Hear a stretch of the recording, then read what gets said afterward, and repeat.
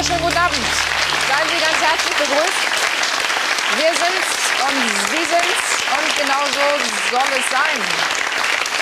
Toll, dass Sie wieder mit dabei sind. Tja, zwei homosexuelle Männer oder Frauen leben zusammen und ziehen Kinder groß. Sind Sie eine ganz normale Familie? Seit über zehn Jahren dürfen Männer bei uns Männer heiraten und Frauen Frauen. Sind solche eingetragenen Lebensgemeinschaften dasselbe wie die Ehe? Sollte der Staat sie also genauso behandeln mit steuerlichen Vorteilen wie dem Ehegattensplitting und dem gleichen Recht zur Adoption? Darüber wird in den letzten Wochen vor allem in und mit der CDU gestritten. Heftig, leidenschaftlich und oft unter der Gürtellinie. Wie weit muss oder darf Gleichberechtigung gehen? Sind die bürgerlichen Werte von Ehe und Familie wirklich überholt? Ist es eine schöne oder eine schreckliche Vorstellung, wenn immer mehr Kinder mit zwei Vätern oder zwei Müttern aufwachsen? Darüber wollen wir reden mit diesen Gästen. Volker Beck, der Grünen-Politiker, sagt, für Lesben und Schwule müssen gleiche Rechte wie für Heterosexuelle gelten. Das hat sogar das Bundesverfassungsgericht so entschieden. Hedwig von Beverförde, die Sprecherin der Initiative Familienschutz, widerspricht vehement. Die einzig wahre Ehe ist die zwischen Mann und Frau. Katharina Reiche, die CDU-Frau stellt fest, unsere Zukunft liegt in der Hand der Familien, nicht in gleichgeschlechtlichen Lebensgemeinschaften. Glauben Sie allen Ernstes, dass wir mit Leihmüttern und designten Kindern die Stärke eines Landes wie Deutschland erhalten können? Lilo Wanders, mit bürgerlichem Namen Ernie Reinhardt. Der Schauspieler und Travestiekünstler sagt, die deutschen Familienmodelle sind von vorgestern. Die Bürger sind viel offener als manche Politiker. Marin Kreumann, die Schauspielerin hat sich vor fast 20 Jahren als lesbisch geoutet und das nicht bereut. Zwar haben die Rollenangebote danach erst einmal abgenommen, aber ich habe nun mal eine Schwäche für den aufrechten Gang. Und Philipp Gut, der stellvertretende Chefredakteur der Schweizer Zeitung Weltwoche kritisiert. Homosexualität ist zum politischen Programm geworden. Wer sich outet, wird zum leuchtenden Märtyrer einer bekennenden Kirche. Wer sich dem Kult widersetzt, den trifft der Bannstrahl. Sie sind zu Gast bei Maybrit Illner. Ja, zwei Männer und ein Baby. Zwei Männer und ein Baby haben wir zu Beginn der Sendung zwar nicht zu bieten, aber zwei Männer, die zwei Söhne haben. Schauen Sie mal. Eine ganz normale Familie. So sehen sich die Riebesels aus Berlin. Seit fast 20 Jahren sind Frank und Frank Bruno Riebesell ein Paar. Ihren Kinderwunsch konnten sie sich erfüllen. Sie wurden Pflegeeltern. Raphael kam vor zehn Jahren zu ihnen. Da war er zwei. Inzwischen besucht er das Gymnasium und singt begeistert im Chor. Etwas später kam der heute neunjährige Simon dazu. Die leiblichen Väter der beiden wollten die Vaterrolle nicht übernehmen und auch die Mütter konnten den Kindern kein Zuhause geben. Schule, Hausaufgaben und Freizeit. Simon muss los zum Fußballtraining, Raphael zum Klavierunterricht. Im täglichen Leben der Riebesels dreht sich alles um die Kinder. Wie in einer ganz normalen Familie. Ja, und heute Abend sind Sie bei uns, Frank Bruno und Frank Riebesell. Sie haben Kinder, die sind neun und elf Jahre alt. Wie oft mussten Sie sich, müssen Sie sich rechtfertigen, dass da zwei Papis zu Hause sind, aber keine Mami? Frank Bruno? Tja, eigentlich nie. Wir mussten uns bisher eigentlich nie rechtfertigen, dass wir zwei Männer sind, die eben Sorge für zwei Kinder tragen. Ich kann mich nicht daran erinnern, dass das ein Thema war. In Ihrem unmittelbaren Umfeld haben Sie das Gefühl, dass es für die Gesellschaft noch ein Problem ist? Ich glaube, die Gesellschaft ist viel weiter, als wir denken. In unserem unmittelbaren Umfeld, also die erste Einrichtung, in die Raphael ging, als er ganz klein war und es ihm langsam bei mir ein bisschen zu langweilig war, war der katholische Miniclub bei uns in der katholischen Gemeinde. Und danach ging es weiter in die evangelische Gemeinde, in den Kindergarten. Ähm, Und wir haben immer nur Zuneigung erfahren, wir haben immer nur Zustimmung erfahren, Interesse, Neugier. Und ganz oft natürlich auch ein Outing. Ja, bei uns, mein Bruder ist auch schwul und der hätte auch so gerne ähm, eine Familie und Kinder. Also wir können sagen, uns ist nie was von Diskriminierung passiert. Und auch keine skeptischen Eltern? Man kann sich das gar nicht vorstellen. Also auch in der Schule nicht Eltern, die dann gesagt haben, Jungs sind jetzt bald in der Pubertät. Können zwei Männer den Kindern eigentlich geben, was ihnen normalerweise die Mutter in einer Familie gibt? Frank? Das, das Bild wirkt ja sehr stark. Also ja. wir, sind, wir sind präsent in der Schule, wir bringen die Kinder gelegentlich hin, sind auf den Elternabenden. Also die anderen Leute sehen uns da und dann stellen sie fest, alles in Ordnung. Vor allem in meinem Kindergarten und Schule, da hat man es meistens mit Frauen zu tun. Da ist jeder Mann, der mal auftaucht, da auch willkommen. Gern gesehen? Gern gesehen. Und, und viele von Raphael und Simons Klassenkameraden sagen, ja, ich habe zu Hause nur eine Mama und du hast gleich zwei Papas. Wie kann das sein? Also die Familienvarianten sind so vielfältig heute, mhm. dass äh, diese Vielfalt ja die Bereicherung ist. Und in einer Stadt wie Berlin, ähm, da spielt das gar keine Rolle mehr. Homosexuelle Paare dürfen nach Lage des Gesetzes heute ja Kinder nicht adoptieren. Waren insofern die, die Variante Pflegekinder zu wählen eigentlich die einzige in Frage kommende ob Ihres Kinderwunsches? Ja, ja, also das ist richtig beschrieben. Wir können ja nicht gemeinsam adoptieren, das ist uns verwehrt. Aber ähm, wir können Pflegekinder aufnehmen. Und das, diesen Weg den sind wir gegangen vor vielen Jahren und den haben wir mhm. bis jetzt auch nicht bereut. Nun sagen Sie, Sie haben zwei schwarze Kinder, weil die Jungs eben aus anderen Familien kommen. Das haben wir in dem Film auch gezeigt.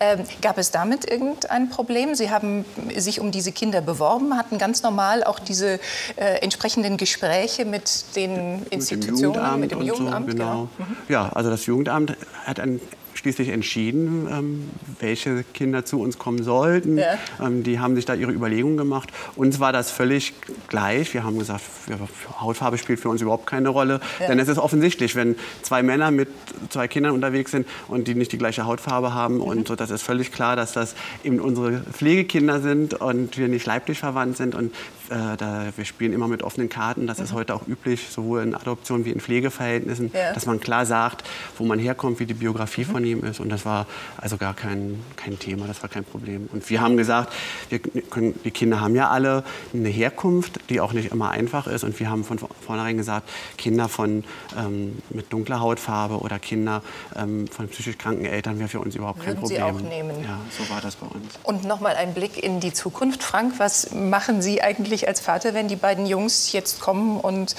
heterosexuelle Beziehungen leben, mit zehn Kindern nach Hause kommen? Wie geht ihr damit um? Das ist ganz normal. Also, so wird es wahrscheinlich kommen. Die Wahrscheinlichkeit spricht dafür.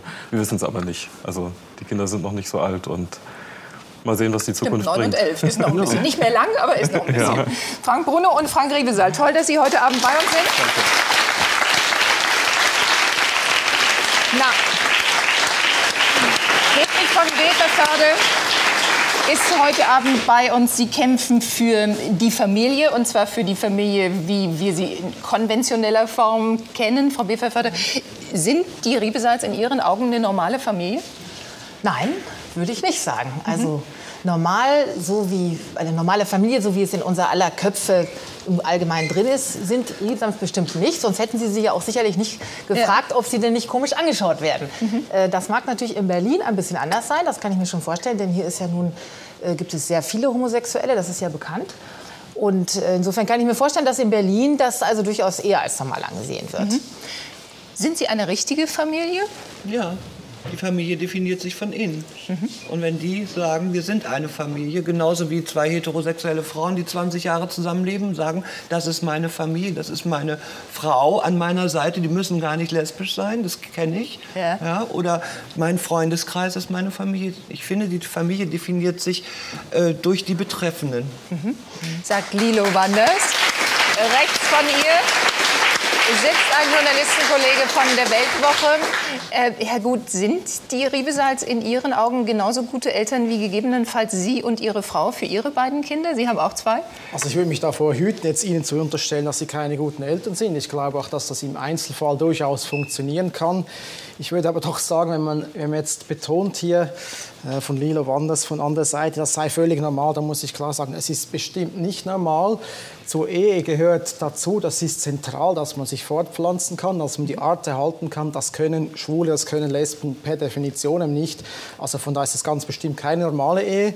Ich würde, wie gesagt, nicht sagen, dass das irgendwie im Alltag nicht durchführbar ist. Ich würde nie so weit gehen, jetzt persönlich zu sagen, die beiden machen das falsch. Das wäre vollkommen daneben. Das ist ihr Entscheid, die sollen das tun. Ich finde aber doch, dass es diesen Unterschied gibt. Und wenn man natürlich schaut, auch von der Kirche her, das Institut der Ehe, woher kommt das? Jetzt aus liberaler Sicht könnte man sagen, der Staat hat sich in Biologisches, in Privates gar nichts einzumischen. Aber wenn man natürlich die, die Geschichte anschaut, dann kommt das von der Kirche her, von der, von der Kultur.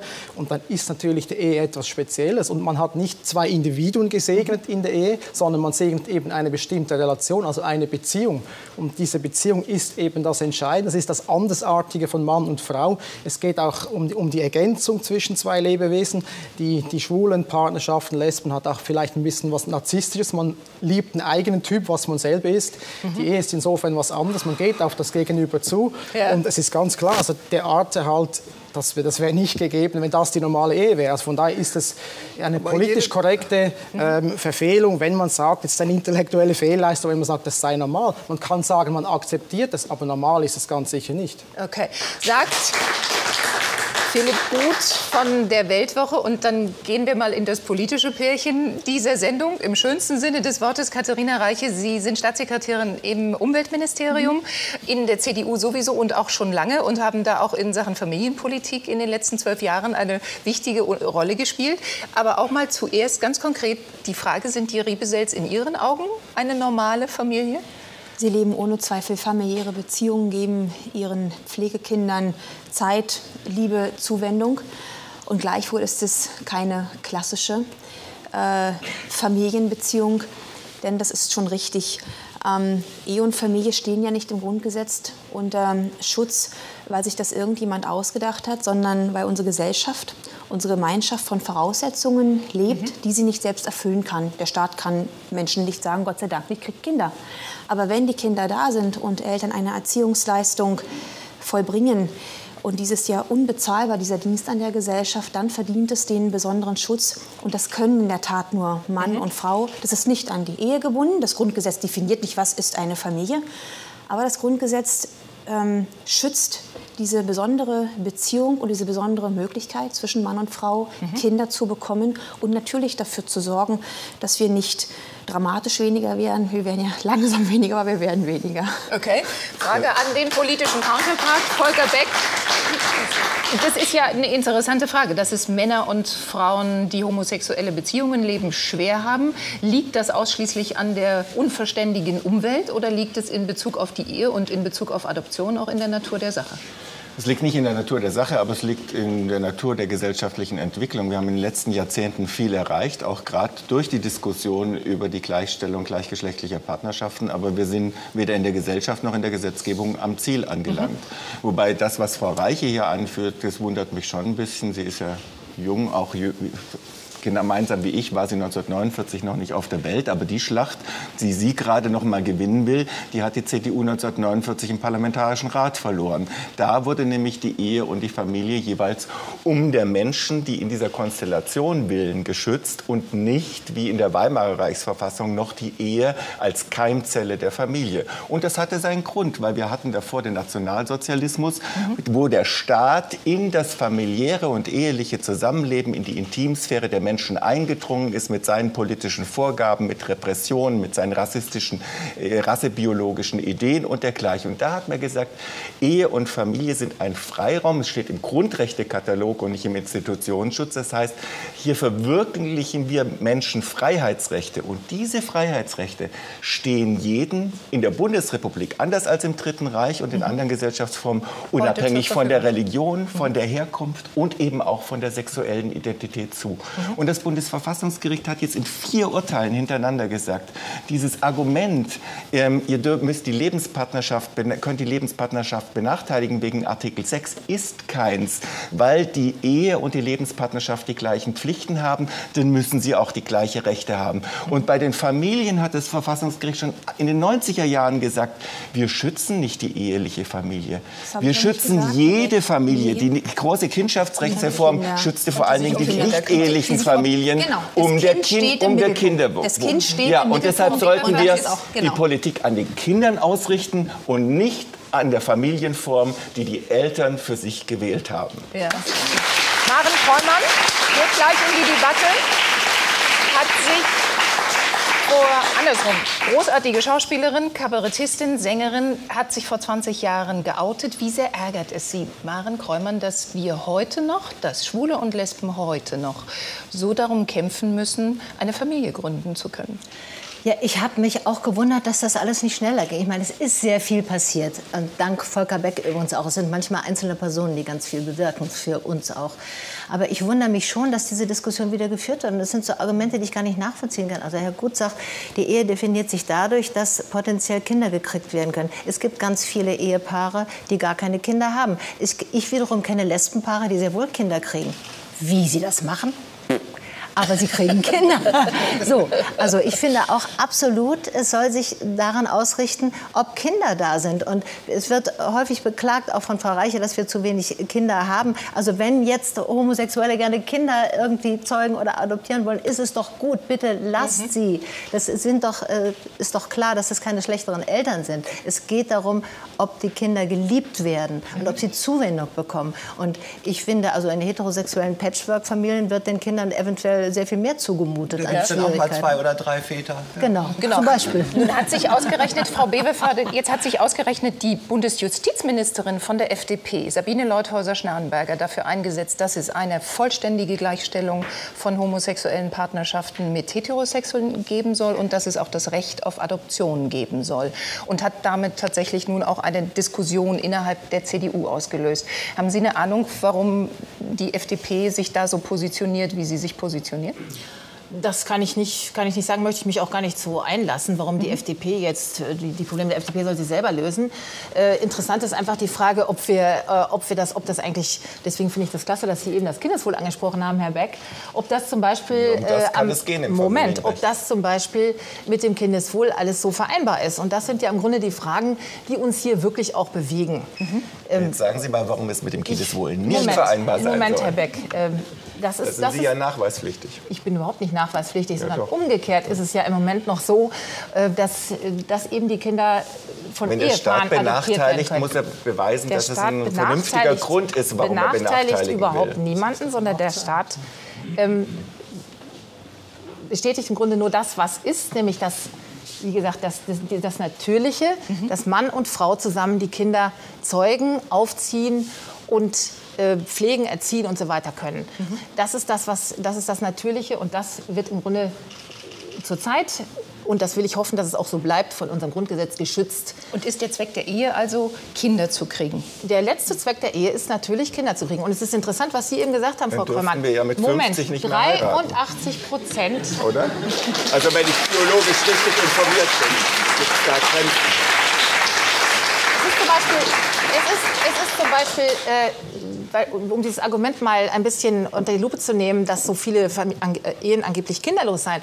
83 Prozent der Ehen mhm aus 83 Prozent der Ehen gehen Kinder hervor. Das ist die neueste, sind die neuesten Mikrozensuszahlungen von, von 2011. Und jedes dritte das Kind wird nicht ehelich geboren. Jetzt können wir uns Zahlen pausenlos ich habe gerade gesagt, ich, habe gerade, ich habe gerade gesagt, aus 83 Prozent der Ehen gehen, äh, gehen Kinder hervor. Ja. Und Vielleicht machen Sie es noch mal konkret, Frau Weber. Ja. Was glauben Sie, geht Kindern verloren, die nicht in dieser klassischen Ehe in dieser Mutter-Vater-Konstellation groß werden? Was haben die es dann geht nicht? Ihnen ein, es geht Ihnen der Vater oder die Mutter, je nachdem, ob es nun ein lesbisches das Paar ist, ist, oder ein, ja. entsprechend einfach verloren. Sie haben diese Erfahrung nicht, Sie haben die dieses, äh, dieses, äh, diese Beziehung zum gegengeschlechtlichen oder auch zum gleichgeschlechtlichen Elternteil, mhm. die können sie äh, nicht aufbauen. Und wir wissen im Grunde heute alle noch gar nicht, was das für Auswirkungen auf die Kinder haben kann. Doch, also ja. das nein, das wissen, das, nein, das also wissen wir nicht so genau. Das Bundesjustizministerium hat eine lange Studie und auch international ja, die, die haben wir auch gleich da, die genau. können wir auch gleich zeigen. Aber genau. vielleicht ist erstmal der politische Streit noch mal ganz interessant,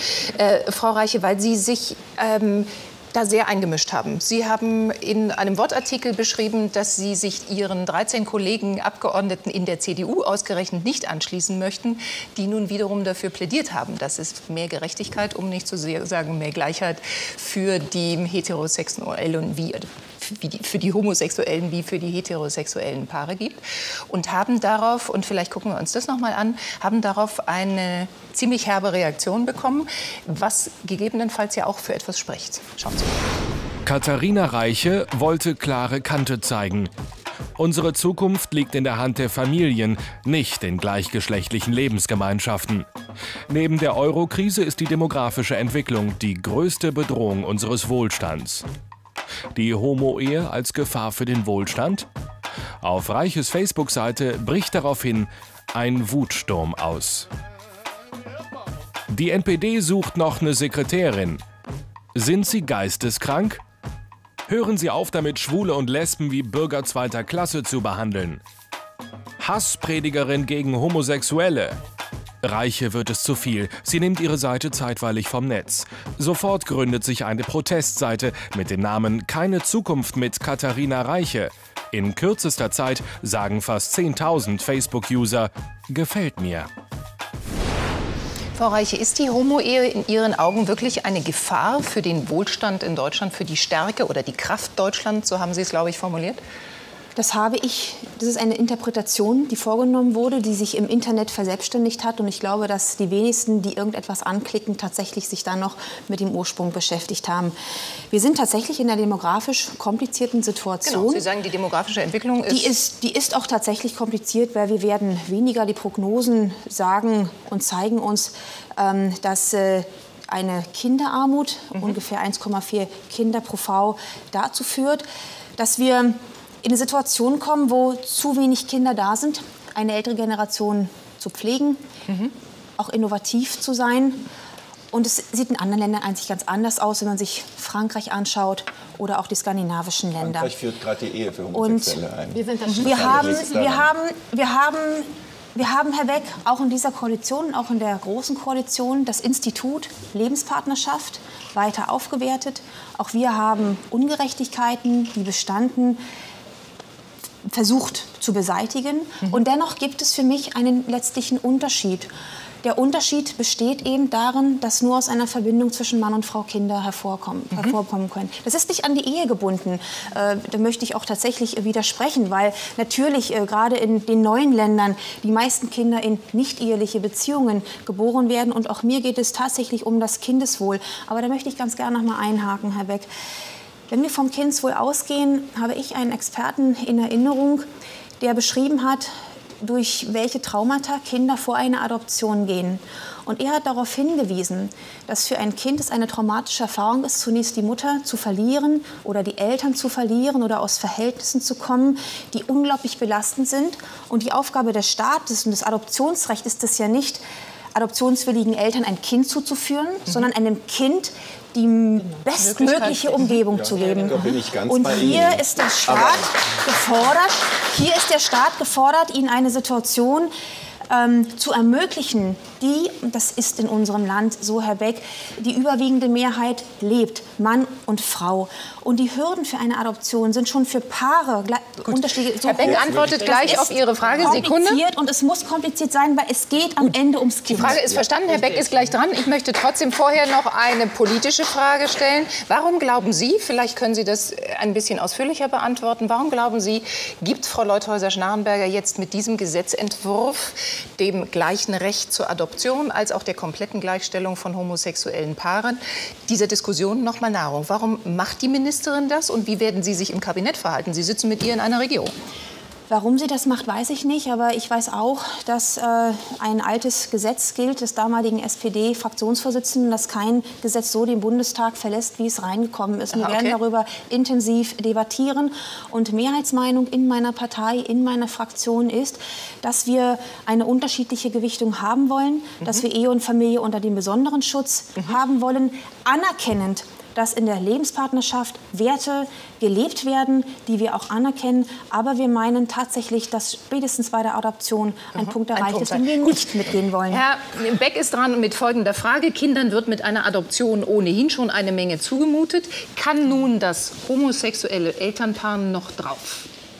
Also darum geht es überhaupt nicht. Also bei dem Adoption... Nein, wenn Sie mich ausreden lassen, dann will ich Ihnen erklären, was der Gesetzgeber zu entscheiden hat und was ganz andere doch Institutionen am Ende zu entscheiden. Dann können Sie immer noch Ist- den Gesetzgeber erklären. Ja, es geht ja nicht darum, dass durch das Adoptionsrecht irgendein Wach- Erwachsener ein Recht auf ein Kind bekommt, Mhm. sondern Genau. es geht darum, dass bei der Entscheidung, wo kommt dieses Kind hin, was ist das Beste für dieses konkrete Kind, seinem Kindeswohl gemäß, nicht diskriminiert werden soll, ob es ein homosexuelles Paar ist oder ein heterosexuelles Paar. Und das Absurde, was wir im heutigen Recht ja haben, ist es ja nicht so, dass Homosexuellen die Adoption verboten ist.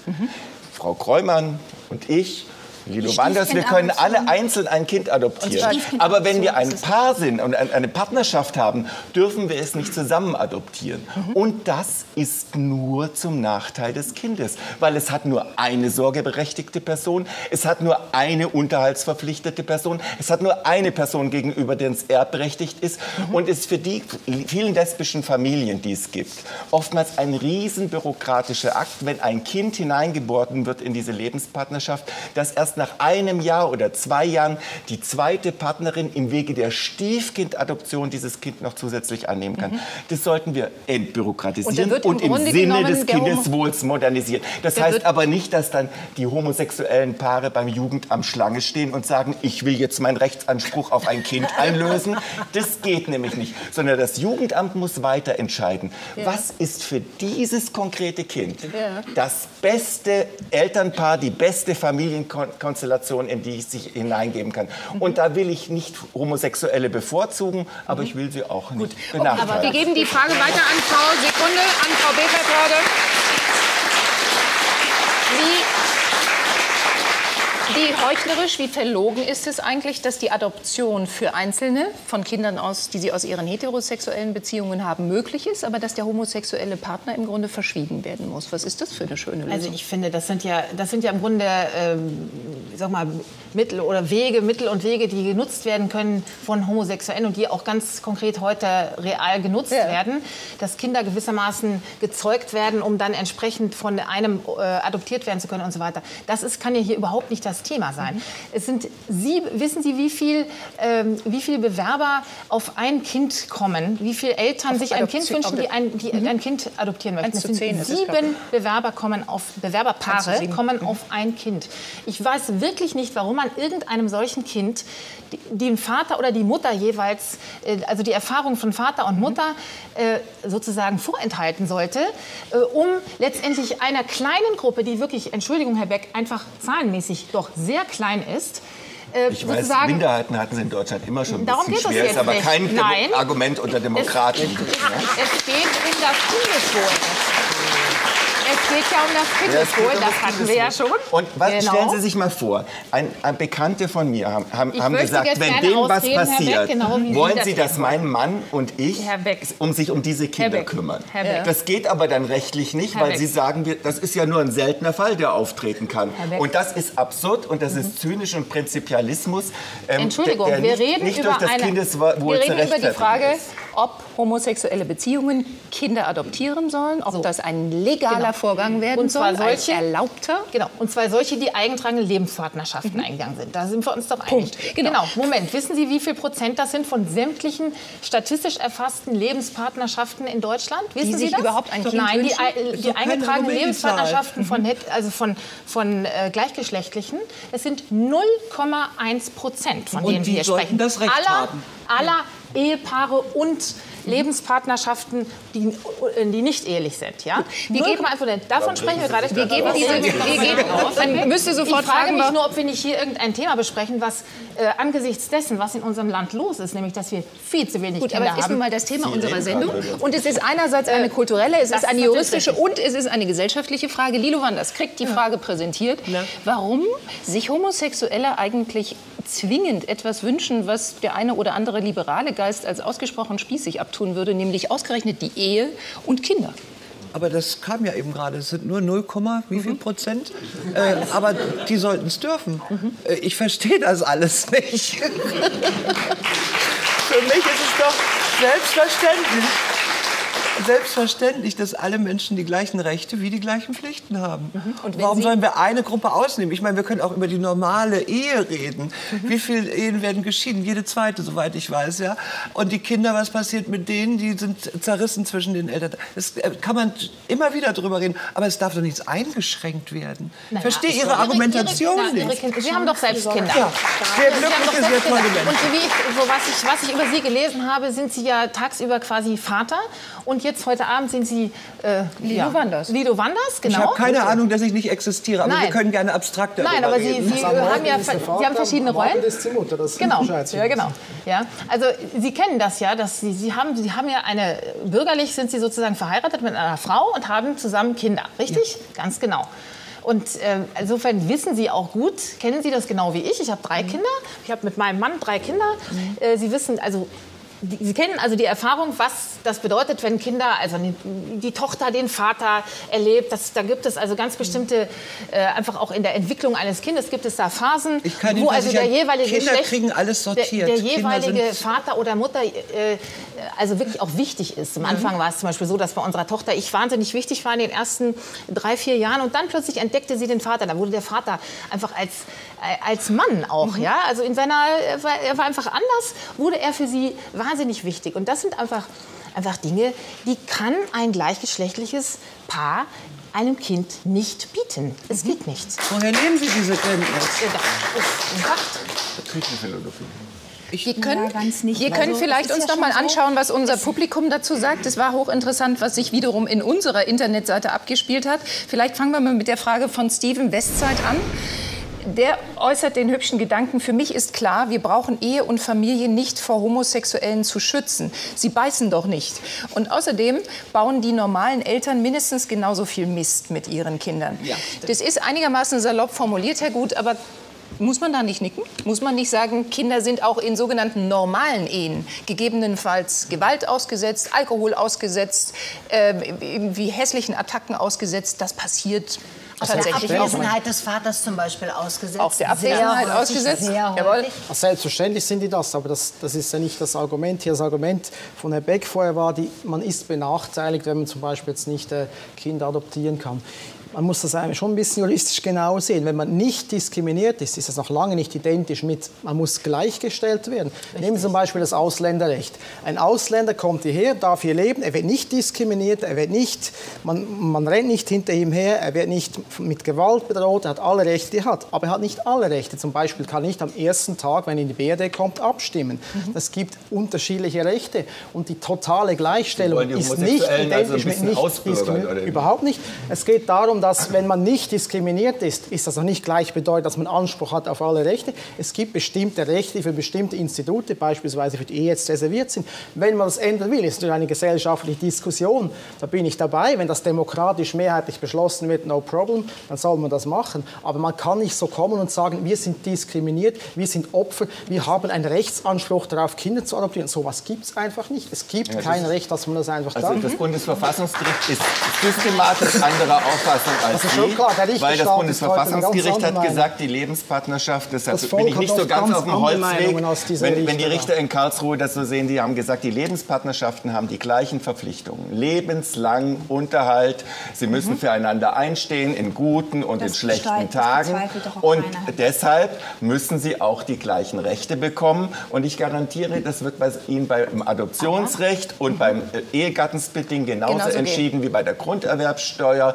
beim Familienzuschlag, beim Beamtenrecht, bei der Hinterbliebenenversorgung, bei der Erbschaftssteuer, bei der Schenkungssteuer. Da hat das Bundesverfassungsgericht Genauso immer gleichlautende Okay, also, das, das, ja, kann ja auch alles sein und trotzdem muss ich es ja nicht äh, gut finden. Ja, und muss es nicht, muss es Verfassung nicht, wenden, das dürfen Sie, Frau Reiche.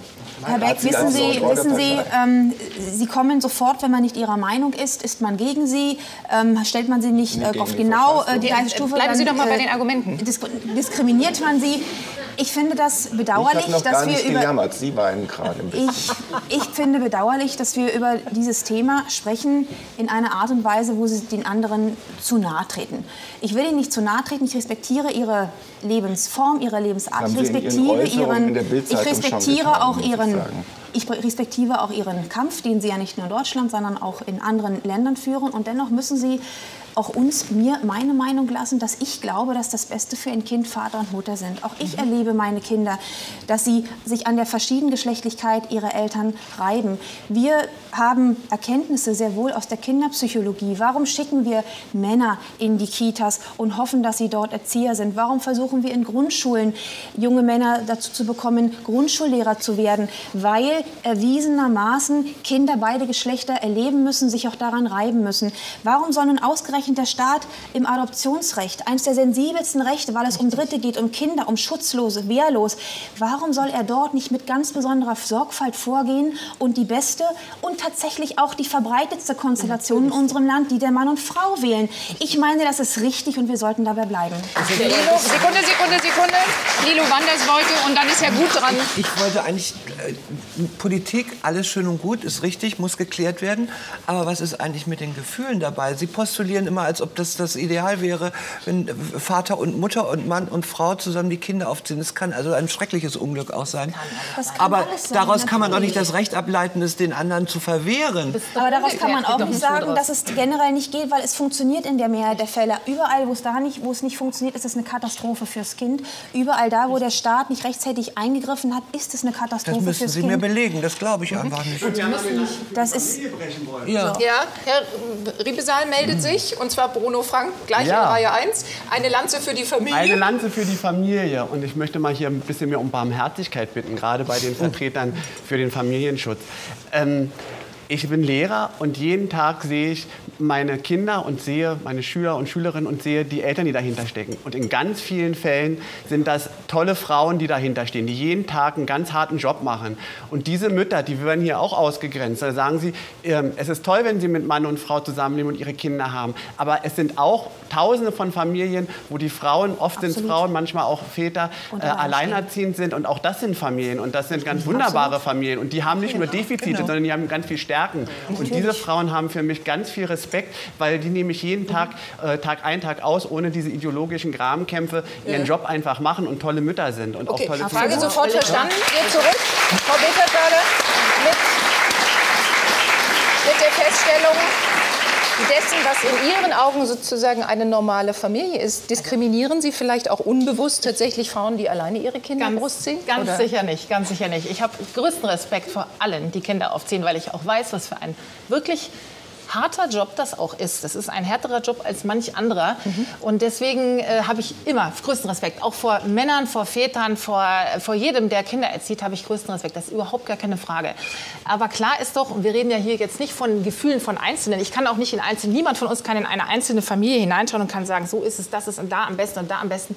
Es geht doch hier um eine, Recht, eine Rechtsfrage, um ein Gesetz. Wir reden von Gesetzen. Und da muss natürlich der Gesetzgeber, das ist einfach klar, er muss schauen, dass er tatsächlich das Beste nach objektivem und Aber äh, Wissen und Gewissen ja gesagt, äh, wie häufig feststellt. das Bundesverfassungsgericht schon pro Das Bundesverfassungsgericht hat, aber auch, hat. Ja. aber auch zum Beispiel gerade im Zusammenhang mit dem Lebenspartnerschaftsgesetz seinerzeit gesagt, dass eben dass die eingetragene Lebenspartnerschaft von zwei Gleichgeschlechtlichen etwas anderes ist als die Ehe. Es hat gesagt, es ist ein Aliud, etwas anderes. Ja? Damit, damit Und hat deswegen- es, hat es und das ähm, ist es erlaubt, auch. dass Deswegen- etwa, weil es etwas anderes ist, dass wir überhaupt hier rechtlich etwas regeln Aber dürfen, nun- was wir für nicht eheliche heterosexuelle Paare, die heiraten könnten, nicht regeln dürfen. Das ist jetzt verfassungsrechtliches Hochrecht. Das interessiert die Zuschauer wahrscheinlich nur Nun kämpfen aber sogar ja CDU-Abgeordnete in dieser Fraktion von Frau Reiche genau für dieses Recht oder besser gesagt für ein neues Recht, das sie gleichstellt. Jens Spahn ist dabei, Mhm. andere Kollegen, die homosexuell sind, die für die komplette Gleichstellung plädieren.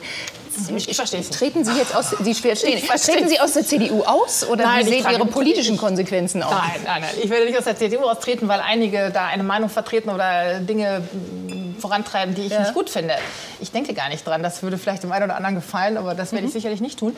Ähm, ich verstehe das wirklich nicht. Denn es gibt gerade im Zusammenhang mit Bundesverfassungsgericht, es gibt äh, Urteile für die Familie, um die Familie, die nämlich tatsächlich, und zwar alle Familien, ob alleinstehend oder Ja. insbesondere aber auch die ganz normalen Familien, Vater, Mutter, Kinder, äh, sind finanziell in diesem Land extrem benachteiligt. Insbesondere in den Sozialversicherungen, aber auch steuerlich.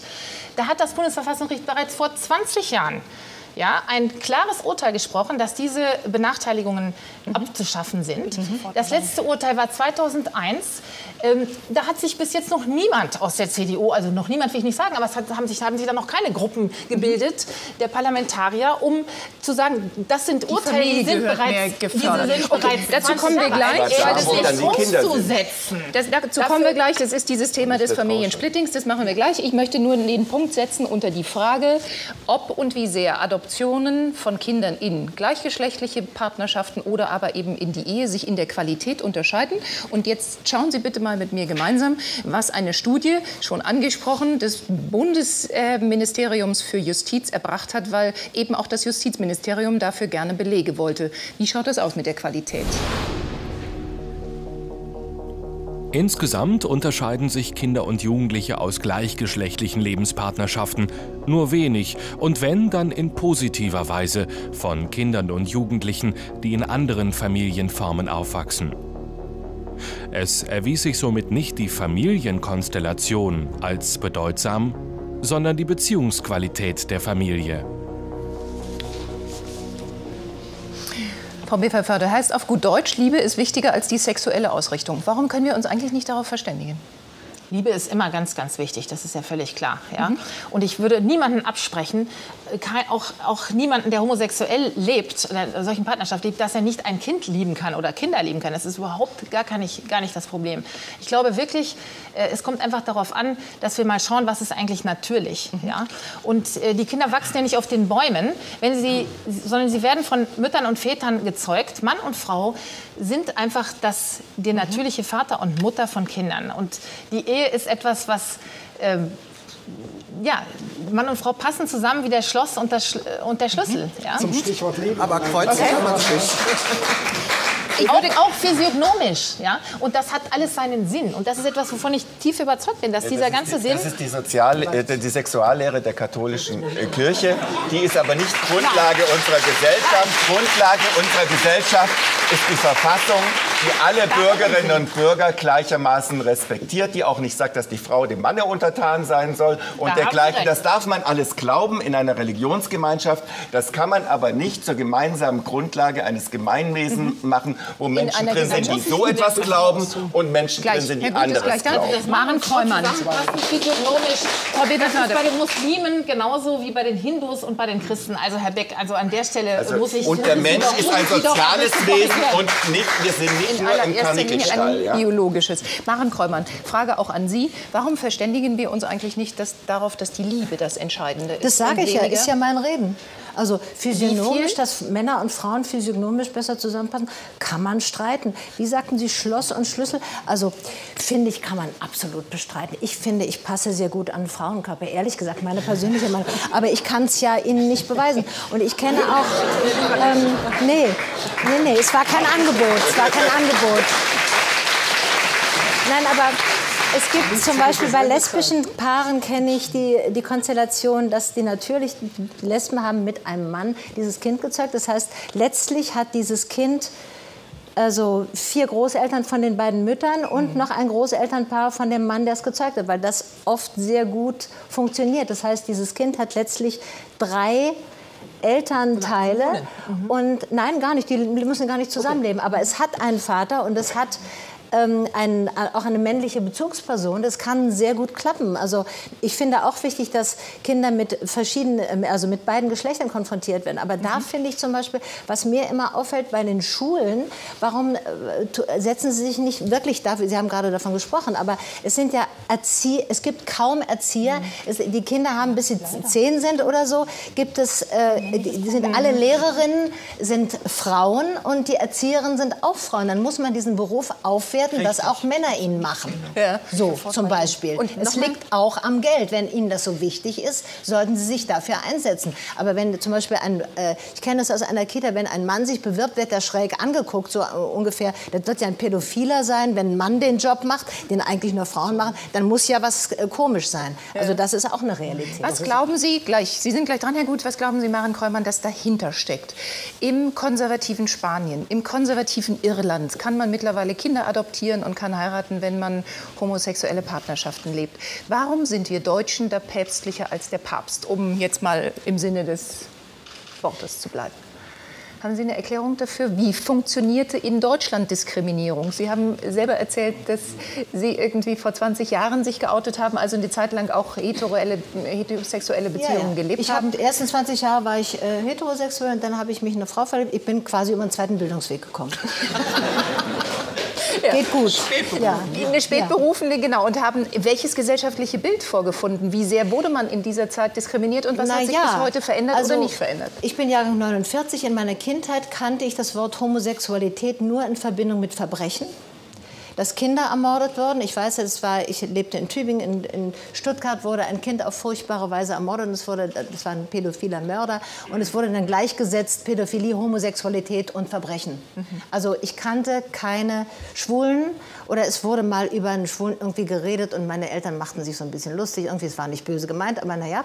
Lesben kannte ich überhaupt nicht, außer aus historischen Erzählungen über die 20er Jahre. Diesen Begriff, das gab es nicht. Das heißt, es ist auch viel schwerer gewesen, wenn ich jetzt entdecke, dass ich Frauen liebe, mich tatsächlich dazu verha zu verhalten und offen zu sein und nicht zu lügen. Also für mich ist eine Frage auch an die katholische Kirche immer, wie wichtig ist das Gebot, du sollst nicht lügen? Denn das, was Sie sagen, führt eigentlich dazu, dass ein Doppelleben normal ist, dass man eben vertuscht, dass man eine Beziehung hat, dass man eben das Kind zum Beispiel adoptiert alleine und vor dem, ähm, vor dem Amt sagt, ja, ich will es alleine adoptieren und man verschweigt zum Beispiel die Partnerin, die man hat. So, das, das führt doch zu Lügen. Und wir haben, äh, wir haben eine Situation gehabt, als ich mich geoutet habe, wo einfach diese Verlogenheit unerträglich war. Und die ist ja heute noch in konservativen Kreisen äh, eigentlich unerträglich. Und ich wundere mich, dass niemand von, au- aus ihren Kreisen äh, sich gegen diese Verlogenheit wendet. Hatten Sie das Gefühl, dass Sie darunter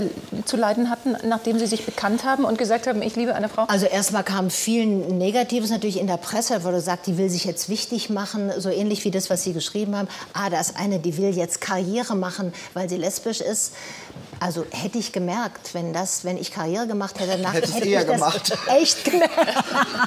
Auch eine Möglichkeit. Nein, das hätte ich echt gemerkt. Ich habe nur gemerkt, dass in dem Jahr darauf, also man kann ja immer schwer sagen, warum man keine Angebote mehr kriegt. Die kommen ja nicht auf einen zu und sagen, Sie sind eine blöde Lesbe, ich kann Sie sowieso nicht leiden und feministisch sind Sie auch noch und Sie wirken auch noch so intellektuell, was das Schlimmste ist von allen drei Sachen. So, Sie kriegen bei mir keine, Woll äh, keine Rollen mehr, sondern Sie merken einfach, irgendwie, sie kommen nicht mehr vor, die Leute denken nicht mehr an sie. Und ich bin ja eigentlich sehr optimistisch, glaube an das Gute im Menschen, auch an die Toleranz und dachte, na ja, wenn ich jetzt keine Rollen kriege, vielleicht habe ich nicht gut genug gespielt. So.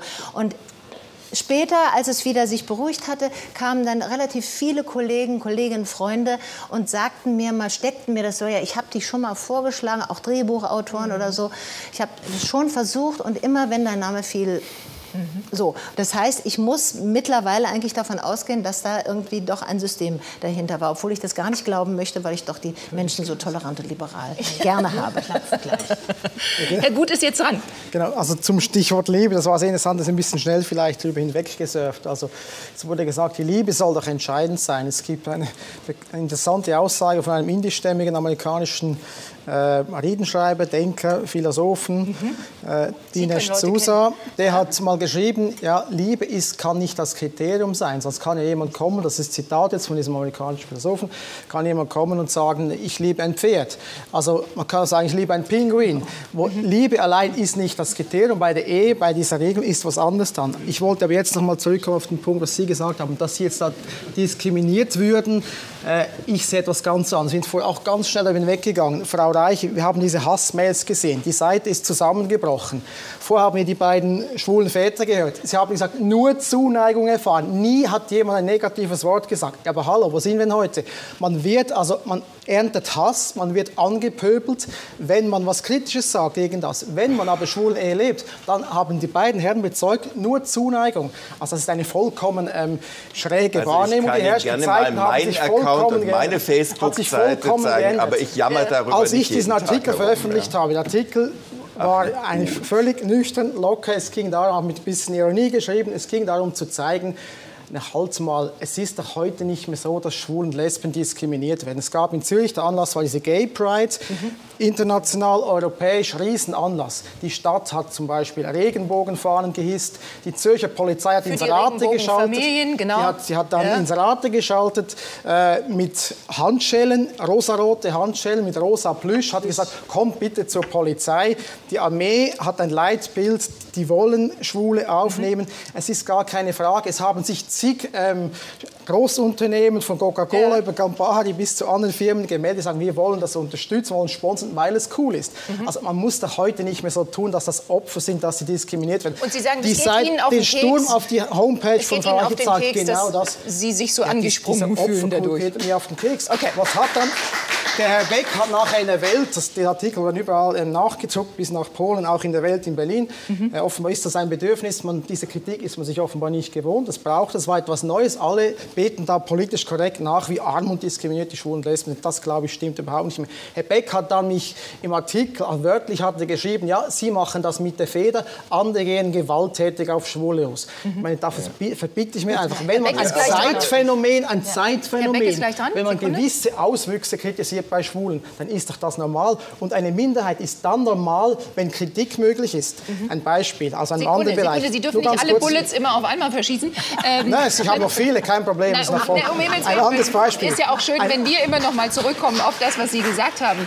Fühlen Sie sich also dadurch diskriminiert, wenn Nein, ich Volker Beck zum. Beispiel Ich sagt, staune einfach, wie verkrampft die Diskussion ist. Ein Beispiel. Sie sagen, eigentlich haben die Schwulen und Lesben alles erreicht? Ein in der Schweiz gibt es ein berühmtes Behindertentheater, Theater Hora. Ja. Die haben in den ersten drei Jahren, als sie aufgetreten sind, nur positive Kritiken bekommen, weil niemand getraute sich, Behinderte zu kritisieren. Dann kam eine erste Kritik, da gesagt, ja, das Theater ist doch nicht so toll, diese Schauspieler haben vielleicht nicht so perfekt agiert in allen Situationen. Danach kam der Präsident, also der Chef dieses Theaters, und hat gesagt, Gott sei Dank, jetzt sind wir akzeptiert, jetzt wird normal über uns ge- diskutiert, jetzt werden wir ernst genommen. Bei den Schwulen ist das genauso. Es ist erst dann normal, wenn Kritik an bestimmten Auswüchsen, an Exzessen möglich ist. Die schwule Community ist doch nicht in allen Bereichen einfach irgendwie heilandmäßig besser als andere Leute. Na bitteschön, Machismo wird da die ganze Zeit bei Männern kritisiert. Man kann doch auch Auswüchse der schwulen Gemeinschaft kritisieren. Und das haben Sie gemacht, weil, irgendwas. Ja, weil Sie selbstverständlich. fanden, dass Selbstverständlich. die Love Parade und ist die es Zürich normal. Parade offensichtlich Diese eben... Betupftheit und ständig mit der Nazi-Keule kommen. Minderheit haben wir in Deutschland schon immer verfolgt. Also meine Bitte, Mhm. Okay, das ist die Sie haben halt gesagt, Schiene. jetzt machen wir mal einen Punkt. Herr Beck, Sie haben anschließend gesagt und diesem Autoren und Journalisten unterstellt, dass er homophob sei. Wer diskriminiert eigentlich wen? Ja, ich, ich, würde, ich würde sagen, er versucht verzweifelt uns zu diskriminieren, aber trägt nicht mehr so richtig damit durch. Deshalb finde ich diese Debatte eigentlich Also ich habe beste ziemlich Freunde, sind schwul Mir- bis hinter ja, alle Ohren. Das, das hat man immer schon gesagt. Das ist doch nicht das also- Problem. Wenn ich homophob wäre, würde ich das nicht machen. Hören Sie Ja, doch auf, ja, das das- das ist übrigens ein nicht Standardsatz der- Das ist ein Homophob Standardsatz Wenn man keine Argumente mehr hat, dann jetzt- ist man homophob. Ich, kann überhaupt nur das ist doch Argumente äußern, wenn Sie mich noch zu Wort Wenn kommen man ein lassen. bisschen kritisiert, dass, da, dass der Wollen wir einmal noch mal einen Punkt machen und den Volker Beck homophob. Fragen, Also bitte, wo er sich, sagen, man sieht. wo er sich Ja, eigentlich diskriminiert fühlt. Über die Adoption haben wir jetzt schon gesprochen, über das Recht, auch Kinder erziehen und großziehen zu dürfen. Wie sehr fühlen Sie sich diskriminiert dadurch, dass dieses Ehegattensplitting eben immer noch Schwule und Lesben ausschließt? Nun ja aber in Also einem im Grunde genommen parteiübergreifenden Konsens durch das Familiensplitting ersetzt werden. Der Einzige, der noch äh, überredet werden muss, ist Wolfgang Schäuble, wenn ich es richtig Naja, verstanden also habe. ich, ich muss sagen, ich, also ich fühle mich deshalb nicht diskriminiert, sondern es ist einfach objektiv eine Diskriminierung für die Menschen, die es betrifft. Ja. Da ich verwitwet bin, kann mich das Ehegattensplitting grundsätzlich ni- nicht tangieren, we- we- weder in der einen noch in der anderen Form. Es geht aber auch nicht um persönliche Gefühle, sondern es geht darum, dass alle Menschen die gleichen Rechte haben, Mhm. wenn sie die gleichen Voraussetzungen erfüllen, die gleichen Pflichten übernehmen. Ich bin aber gar kein Freund des Ehegattensplittings. Das möchte ich schon auch mal klarstellen. Ich finde Ja. es eine unvernünftige Förderung einer bestimmten Familienform oder Lebensform, die eben nicht den Menschen Ja. mit Kindern zugutekommt. Und ich würde gerne das Ehegattensplitting auf eine vernünftige Kompensation für die Unterhaltsverpflichtungen abschmelzen Ja. und dieses Geld nehmen für eine Kindergrundsicherung, wo ich pro Kopf, Ja. pro Kind den gleichen Betrag gebe. Weil das mit allen Splitting-Modellen, auch mit dem Familiensplitting, geben Sie den reichen Familien mehr Geld als den, äh, den Familien, die es am dringendsten brauchen. Punkt. Und Sie geben es den Ehepaaren Ja. mehr, wo der Einkommensunterschied zwischen Mann und Frau maximal ist. Diejenigen, die nämlich Das gleich viel verdienen, sich genau. Familienarbeit und Erwerbsarbeit Mhm. fair teilen, die haben vom Splitting keinen Cent Vorteil. Nochmal die, Frage an Lilo, nochmal die Frage an Lilo Wanders. Auch dafür kämpfen jetzt natürlich Schwulen- und Lesbenverbände, nämlich um das Ehegattensplitting und damit um die komplette Gleichheit auch in der Steuergesetzgebung. Aber dahinter steckt ja tatsächlich wieder die Frage, warum setzt man sich für etwas Altes ein, das ja im Grunde genommen nur die alte Ehe schützt und warum kämpfen die Schwulen und Lesben nicht für ein Familiensplitting oder für das Unterstützen und Fördern der Kinder? Weil es erstmal darum geht, wirklich eine Gleichheit herzustellen. Aus Also- Gerechtigkeitsgründen. also und danach können wir und meinetwegen. Nein, nein, nein, das ist kein Quatsch. Es geht wirklich um Wir ja Gerechtigkeit. sofort abschaffen, Ja. dann stellen wir das gleiche Rechte auf dem neuen Und wenn wir alle die gleichen. Rechte Ja. haben, dann können wir meinetwegen die bürgerliche Ehe abschaffen und jeder kann sich segnen lassen und fertig ist die Laube. Und die Kinder sollen gefördert werden. Würde ich- Wobei nicht ein Kind mehr geboren wird, wenn es dafür eine Prämie gibt. Das halte ich auch für Quatsch. Aber wenn sie erst mal da sind, dann sollen die Kinder unterstützt werden und nicht irgendwelche Ehepaare äh, normaler Art, in Anführungsstrichen, wo der Kerl das Geld verdient, die Frau muss nicht arbeiten und dann kriegen sie noch Steuervorteile. Ja. Also äh, ich, ich bin einfach gegen diese Ungerechtigkeit. Okay. Mich schrecklich Und das auf. heißt, diese Ungerechtigkeit, auch wenn sie im Grunde genommen, oder die Ungleichheit muss erkämpft werden oder bekämpft werden, auch wenn es Unsinn ist, der dahinter steht.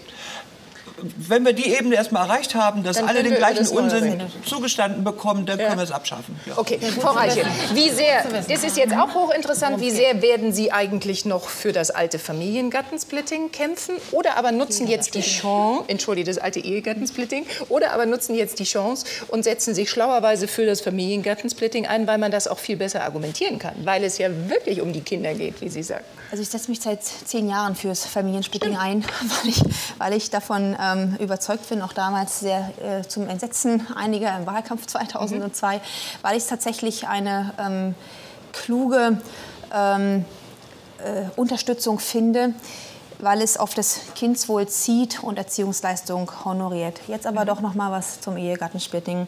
Mal was Interessantes gesagt. Es ist irgendwie alles gleich und Mann und Frau oder Frau und Frau und Frau und Mann. Ich sehe das eben nicht so und es kann auch nicht gleich sein. Nicht, wenn wir nicht immer wieder auch daran erinnern, welche Konzeption hinter einem bestimmten Begriff steht, Ja. wenn wir nicht ähm, auch daran erinnern und deutlich machen, ähm, dass es eben schon auch um die dauerhafte Beziehung und ums Kinder in die Welt setzen und um eine Generationenfolge geht, gehen hinter Begriffen auch Ideale. Aber das sagt ja selbst Ihre Familien. voran. Sekunde, Sekunde. Das sagt ja selbst Ihre Familienministerin. Ja, Christina Frau Schröder, Schröder sagt ja, dann übernehmen Menschen füreinander so viel Verantwortung, dass die Familienministerin selbst konservative Werte und Ziele der Gesellschaft verwirklicht sehen in einer homosexuellen Beziehung. Christina, Sagt Schröder, Christina Schröder hat völlig recht. Und Okay. das Lebenspartnerschaftsmodell setzt ja auch auf diese Partnerschaft. Und dennoch meine ich, und hier unterscheide ich mich von Christina Schröder, gibt es halt einen Unterschied zwischen der eingetragenen Lebenspartnerschaft Mhm. und der Ehe. Und ich möchte diesen Unterschied gerne behalten, um auch auf den erklären. Ich Nein, es gerne an einem Beispiel Herr Beck, ich erklärt. erkläre ja die ganze Die- Zeit. Das Problem die ist, dass Sie, es doch gar Herrn nicht, Sauer dass Sie es und doch gar die nicht dass hören die wollen. Lebenspartnerschaft von Herrn ist Ihr Westerwelle und Herrn Mons Lebenskampf, den Sie kämpfen, das respektiere ich, aber ich möchte ihn nicht genau unterstützen. in ihrer Funktion für die Gesellschaft. Das hätte ich gerne mal verstanden. Ich verstehe es nicht. Ich würde es gerne einfach äh, schlauer aus der Sendung rausgehen, als Die, ich hineingegangen die Frage lassen wir zu. Worin unterscheidet sich die Partnerschaft von Herrn Westerwelle und Michael Mons von der von Herrn Sauer und Angela Merkel? In ihrer Funktion für die Ja, Gesellschaft. ja, weil äh, die einen bekommen ja das Splitting, die anderen nicht. Die leben zu, wahrscheinlich in ziemlich ähnlichen Einkommensverhältnissen, haben beide gemeinsam keine Kinder. Aus einer Unterschiedlichkeit heraus, die das Grundgesetz begründet und zu der ich stehe. Nochmal weg, wir kommen, wir kommen da Das tatsächlich nicht auf ein. Wir gerade kommen, nicht her, sagt das Bundesverfassungsgericht, das gewöhnlich zuständig für die Auslegung des Grundgesetzes ist. Im Unterschied Wissen Sie, beiden. wissen Sie, Herr Beck, ich, ich bin nicht für die Auslegung des Grundgesetzes zuständig. Das muss ich auch nicht sein, sondern ich vertrete eine politische Haltung und eine persönliche Meinung und zu der stehe ich auch. Und meine persönliche Meinung ist, dass Sie Rechte und Pflichten zugestanden bekommen haben. Das Institut Lebenspartnerschaft genießt einen Schutz. Das ist gut so. Und dennoch muss es einen Unterschied geben zur Ehe, weil nur aus einer Verbindung zwischen Mann und Frau Kinder hervorgehen Mhm, können. Das ist mit Frau? Umwege sicherlich auch anders möglich. Aber ich glaube, dass es nicht Aufgabe des Staates ist, Umwege zu ermöglichen, sondern tatsächlich für ein Modell zu werben, diesem äh, breiten Raum zu geben, was weit über 80 Prozent in unserem Land leben. was ein und das ist wichtig. Frau Merkel hat sich dazu auch geäußert und hat klare, Beispiel Wort, Leihmutterschaften. Das finde ich. klare Worte gefunden. Ich sage an dieser Stelle, politisch wünsche ich mir oder kann ich, ist meine Überzeugung, dass es gut ist, wenn Ehe und Familie doch äh, noch etwas deutlich besser gestellt werden. Hat uns das weiter, hat uns das weitergeholfen? verlieren, aber sie wollte es noch mal gesagt haben. Hat uns das weitergeholfen? Was ist etwas freundlich? Das war das Sommerinterview Angela Merkel in der ARD am letzten Sonntag. Was ist etwas deutlich besser gestellt? Ich glaube, dass Angela Merkel in ihrer eigenen Art, aber wiederum für mich zumindest sehr deutlich gesagt hat, dass sie für den Schutz von Ehe und Familie steht und die Unterschiede beibehalten möchte. Das zumindest meine ich sehr deutlich bei meiner Kanzlerin heraus. Das hat. dass es- gibt ja auch noch ganz andere äh, Lebenspartnerschaften, die überhaupt gar nicht äh, irgendwie mal vorkommen. Und das finde ich eigentlich das Beeindruckende. Und da finde ich, sollten Sie, Herr Beck, auch mal äh, eigentlich gleich mal noch was zu sagen. Es gibt ja zum Beispiel Lebenspartnerschaften von, von Geschwistern, ja? die, wo der eine für den anderen sorgt. Die tun genau das, was sie sozusagen für, für die äh, gleichgeschlechtlichen sexuellen Partnerschaften in Anspruch nehmen und was, äh, womit sie also den Anspruch begründen, ähm, dafür also ein, mit, sozusagen mit einem Splitting-Vorteil ebenso bedacht zu werden, wie es eben Ehepaare, wie ihn Ehepaare genießen können. Ähm, es gibt zum Beispiel äh, Töchter, die mit ihren Müttern zusammenleben, mit, die ihre Mütter pflegen oder die ihre Väter pflegen oder Söhne. Äh, Das sind alles Leute, das sind alles Familienbeziehungen, das sind Lebensgemeinschaften, Die wo aber nicht einer eine für den anderen Verantwortung einsteht. übernimmt und Ja. zwar lange einsteht, die, nicht in dem, die nicht die Vorteile haben, die die eingetragene Lebenspartnerschaft bietet. Die werden nämlich wirklich diskriminiert. Das sind die Gruppen Ja. in unserer Gesellschaft, die Sie tatsächlich sollten sich einfach mal ein bisschen diskriminiert Familien, werden. Sie sollten sich mal ein bisschen im Familienrecht schlau machen. Also so schlau bin ich, dass ich das wohl ja, weiß. ja, aber natürlich sind Mutter und äh, Mütter und Töchter oder ähm, Geschwisterbeziehungen sind natürlich familienrechtliche Konstellationen, die immer schon geregelt sind. Sie Aber nicht mit Splitting. Äh, Nein, Sie, Oh, oh, Sie oh, können, oh. Sie können gerne mit darüber reden, dass Sie zum Beispiel das Inzestverbot im Familienrecht aufheben Nein. wollen Mhm. und dass diese dann auch sich lebenslang, genau wie Lebenspartnerschaften und Ehegatten, zu gegenseitigen Unterhalt Also soll jetzt das Splitting den Sex äh, irgendwie prämieren? Nein, oder das- wie ist das, das eigentlich Familien-? Das ist nämlich das da nein, nein, nein, nein, das Familienrecht, das Familienrecht inter- interessiert sich genauso wenig wie das Steuerrecht für den Sex und die Zeiten, wo in den 50er Jahren suggeriert wurde im Familienrecht, Mhm. man könnte notfalls den ehelichen Geschlechtsverkehr durch Gerichtsvollzieher vollstrecken, Dann- dann warum- sind auch im BGB? BGB vorbei. Nein, wenn Sie wollen, dass die beiden ähm, Mutter und Tochter, die das was Eine auf dem Standesamt. Ohne macht. Sex. Nein, nein, ohne Sex. Es geht überhaupt nicht um Sie sind so um sexbesessen. eigene das finde ich so erstaunlich. ähm, auf dem Standesamt unterschreiben zwei Personen einen familienrechtlichen Vertrag. Davon gibt es zwei, nämlich die Ehe und die Lebenspartnerschaft. Gegenwärtig sche- scheitert, dass zwei Geschwister oder Mutter und Tochter einen solchen Vertrag dort auch unterschreiben können, am Inzestverbot im Familienrecht. Wenn Sie, ja, so, so steht das. Ich, ich habe die ja, Gesetze nicht gemacht, die sind aus dem 19. Jahrhundert. Bin ich wirklich weitgehend unverantwortlich dafür. Ich finde die auch nicht völlig unvernünftig an diesem Punkt. Aber wir können natürlich darüber reden, dass wir dieses Ehehindernis oder Lebenspartnerschaftshindernis beseitigen. Wenn das der, die Forderung des Familienschutzbundes ist, müssen es Sie sie nur aufschreiben. Ist Dann beschäftigen wir ist uns mit der. Petition, die Sie da entsprechend einreichen. ja. Ich wollte jetzt mal die Lebenssachverhalte regeln, wo es Menschen in der Gesellschaft gibt, die wirklich zu uns kommen und sagen, wir wollen gleiche Rechte, wir wollen den Schutz des Rechtes. Ich habe solche konstruierten Fälle, die ich in Diskussionen immer sehe, im wirklichen Leben, in einem Brief einer betroffenen Bürgerin oder einem betroffenen Bürgers in meinem Büro noch nicht erlebt.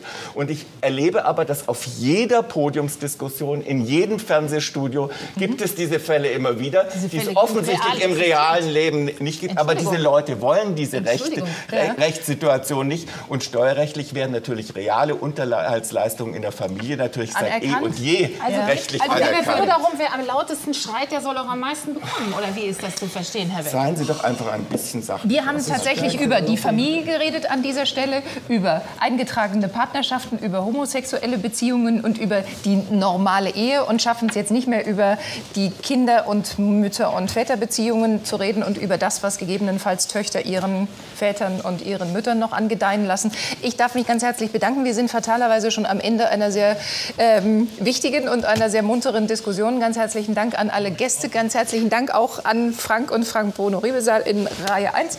Total schön, dass wir Sie bei uns hatten heute. Bei Markus Lanz sitzen jetzt Günther Beckstein, ein alter Bekannter der CSU und eine Allzeitaktivistin Hanna Pottich, nämlich Sie bleiben einfach dran. Und wir sehen uns nächsten Donnerstag wieder, wenn Sie mögen, um 22.15 Uhr. Gleiche Stelle, gleiche Welle. Bleiben Sie heiter irgendwie. Bis zum nächsten Mal. Tschüss.